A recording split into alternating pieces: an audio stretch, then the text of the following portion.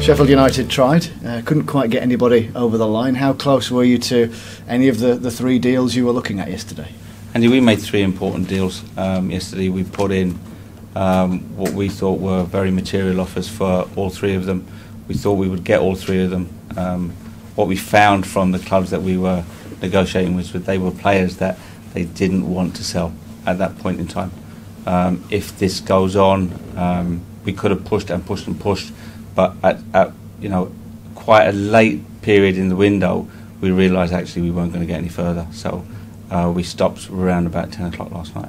Explain to us the process then. Did you go in and say, right, this is our offer, can we do a deal, take it or leave it with the three players?